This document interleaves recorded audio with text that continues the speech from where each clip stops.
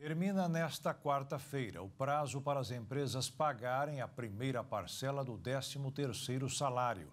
O pagamento deve ser no mínimo de 50% do valor que o colaborador tem direito. As empresas têm até o dia 30 para pagar a primeira parcela do 13º salário. O benefício é exclusivo para trabalhadores com carteira assinada. O pagamento deve ser, no mínimo, a metade do valor que o funcionário tem direito. Já a segunda parcela tem como data limite o dia 20 de dezembro. Quem tiver trabalhado o ano inteiro na empresa tem direito a mais um mês de pagamento. Já para aqueles que não cumpriram os 12 meses, o pagamento do 13º tem de ser proporcional ao período trabalhado. O cálculo proporcional inclui só os meses em que a pessoa trabalhou pelo menos 15 dias. A primeira parcela não tem descontos e pode ser calculada pela metade do último salário bruto recebido, geralmente o de novembro. Esse cálculo deve sempre considerar a maior remuneração, caso o empregado tenha tido aumento salarial.